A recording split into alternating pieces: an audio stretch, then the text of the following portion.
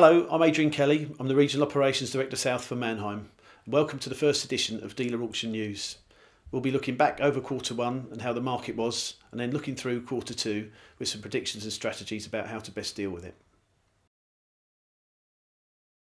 Well, the first quarter of 2013 might not have felt like a record from the rostrum, but our statistics show uh, that with an average selling price of £7,500, it was actually the highest since we started Manheim market reports in 2008.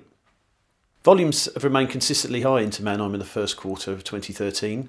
January was a record month for units sold.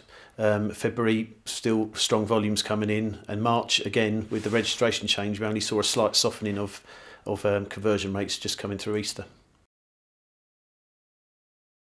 Quarter one's always a, a, good month for sellers.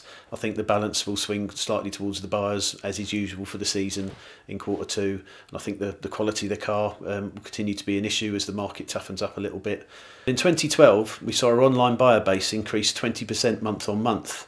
And this uh, market hasn't reached maturity yet, and we're con continuing to see some massive growth. So it's really important that dealers get their information to us at the earliest opportunity, quality information, so we can get the cars online at the earliest opportunity and make the best of that market.